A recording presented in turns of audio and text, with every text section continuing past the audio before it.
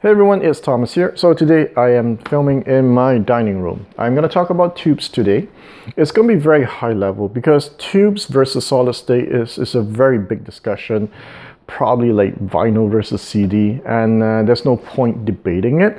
Um, rather, it's more about my experience with uh, having maybe tried 10 tube preamps and uh, amps.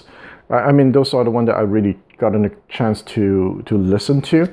Uh, I've listened to way more than that. Uh, but I am by, by, no means an expert in tubes. Uh, my friends are. Some of them ha- uh, they have like tons and tons of tubes, and uh, they can spend days and days talking about it, which is good for me because I'm very slow at picking up stuff. Um, I'm hoping that by sharing my experience, it will speed up your experience with Tube. Because in the very beginning, uh, just like most of most people, I'll go on the internet and read up on uh, you know what's so good about Tubes. It's supposed to be warmer, fuller, uh, more full sound. They're very good at producing second uh, order harmonics, uh, the sense of holographicness, air, they clip better when you play loud and so forth. So you, I, I, would read up on stuff like that but it's I, I, don't understand it.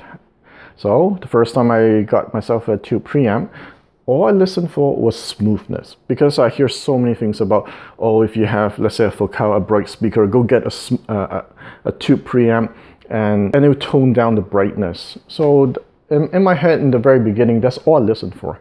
When i get a tube preamp is it smooth or not and as I continue my journey into preamps, I noticed that it's not important because you'll come across tube preamps or tube amps that are not smooth. In fact, they're very bright and very sharp. I remember I once got this Conrad Johnson. It was $6,000 new at the time. Um, of course, I didn't pay anything like that, but uh, I remember it was very bright. There's a sense of clarity to it, and in my head, I thought, hey, I thought all tube preamps are supposed to be very warm and and smooth, but it's not true.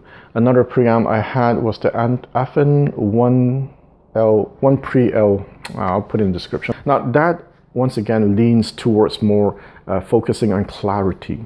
It's it was not a smooth preamp uh, per se. And recently I listened to my friend uh, who built his own speaker.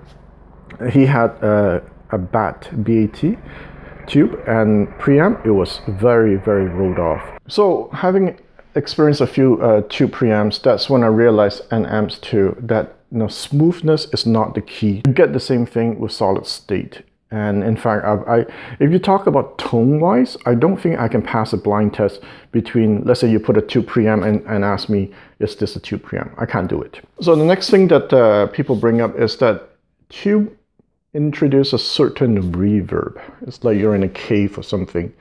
I, I don't really hear that. So for me, it's like, mm, I'm, I'm not sure. I, I think I think so, but I, am not 100% confident.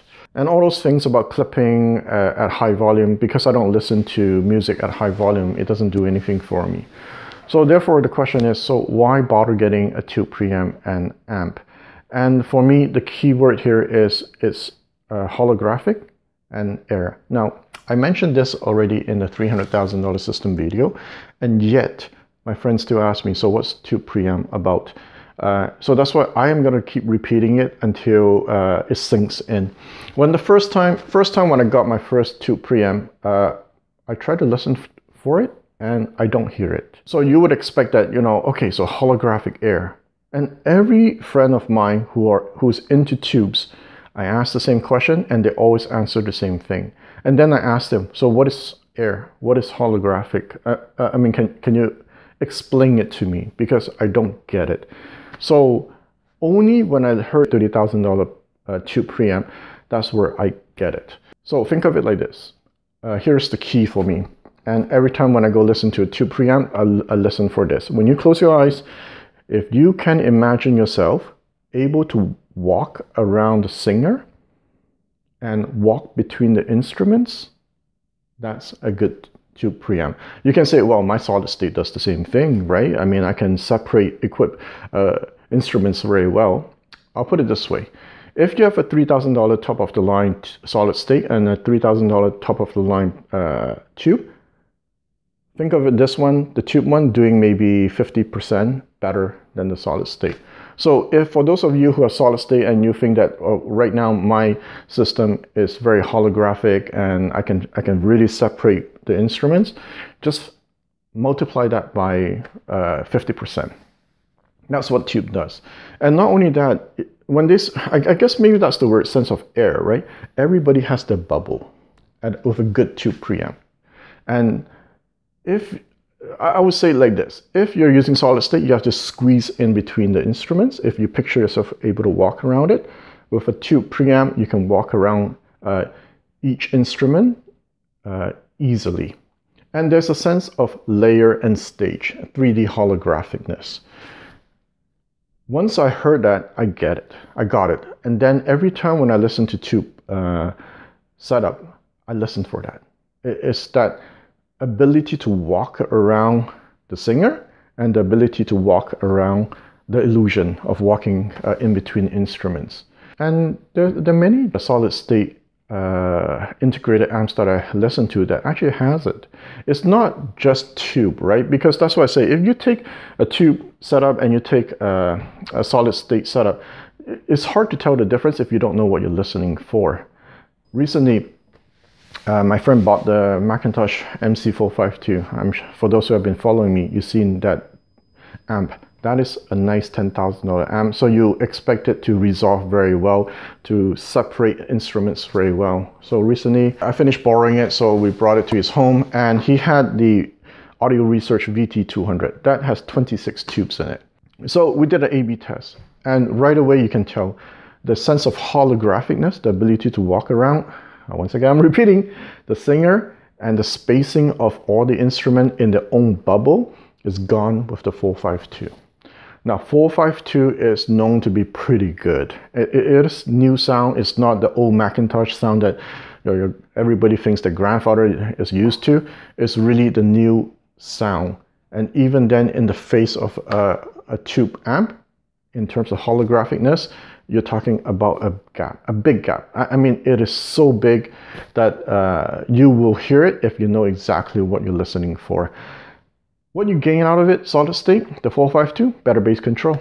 Bass was tight, was faster, and it was more lean. So there's pros and cons to it, right? And I guess I can understand that fuller, warmer sound if bass is a bit more fat with, let's say, that tube amp then uh, yeah, okay, I, I, can see there. Um, but in my own setup, usually I would go for a tube preamp and then a solid state amp. So trying to get the best of both, both worlds. In that specific example, he had the LS25 tube preamp and the McIntosh MC452 amp versus LS25 tube preamp and uh, tube amp VT200 at 200 watts. Even at 200 watts, tube power, the control of bass is nowhere near uh, the solid state. So the solid state with a tube preamp, yeah, you, you have that sense of air, but it's just not the same with a full setup. So the downside of having a tube setup is floor noise for me, and of course uh, bass control is just not the same. Um, that's part of the reason why I move away from a tube setup because I felt like, you know, it's good enough uh, solid state and uh, and the floor noise bothered me. The, the higher you go with tubes uh, setups, I mean high in price, uh, the less floor noise you get. That's true. And what I notice is that the higher price tube preamps, they do a better job in creating that sense of holographicness, the ability to walk around. It's addictive.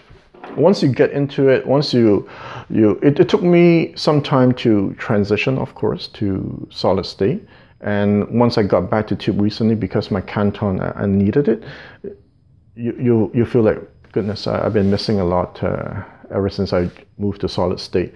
I like clean sound, solid state. It's darker background. You can listen more into the recording. Uh, once again, better uh, bass control and so forth. So there, there's pros and cons to both. Now, I've never tried a very expensive tube uh, solid state preamp, maybe a $5,000 one. Maybe it does that airy, that holographicness as good as tube, I don't know. Uh, the most I've ever tried was a, maybe a $3,000, $4,000, 3005 uh, solid state uh, preamp. but compared to the about three four thousand dollar tube preamps, that the gap is there, that that that holographicness. Now moving to the second part, it's uh, tube rolling. Now remember I mentioned earlier that uh, you know if I let's say I have a, a Focal and I decided to go buy a tube preamp and thinking that it'll help tame the highs. And when I go home, I'm like, oh, this doesn't do anything. It's as uh, fatiguing as my solid state. Tube rolling helps. Not actually, not helps. Tube rolling makes a big difference. And it's one area when I can, where I can say I can 100% pass a blind test. Now, of course, there's so many tubes out there. There's some that sound very similar, so that it's very difficult to pass a blind test. But there's so many that um, there's so many variety that you can easily tell. And uh, I, I, remember once, uh, yeah, from moving from one brand to another brand, I can hear the brightness gone completely just because I changed tubes. Um, also, if you spend time playing with tubes, you'll know that uh, each tube has its characteristic. Now, I'm not talking about brand, I'm talking about uh, model. For example, 6922 tubes. 300B tubes, 845 tubes. They do have their own uh, sonic characteristic.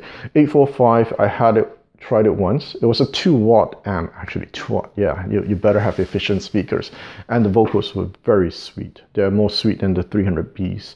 Um, and uh, fortunately, I have friends who, who have a lot of tubes. So once in a while, I get a chance to borrow and try it and experiment with it.